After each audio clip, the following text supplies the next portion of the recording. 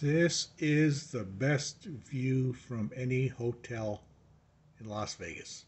Mount Charleston. Looks like a diamond sticking up right there. Enjoy this. And over here is the Rio. It's open. I won't be able to get to it before I drive over there. But I don't have time. There's so many casinos here. I'm, I've only got, uh, what, three days. I got to, all day today, all day tomorrow. I check out, then I got all day the day I check out. So if I want to go over there, I have to take Uber or a taxi. Now, I don't need it. But that's my view from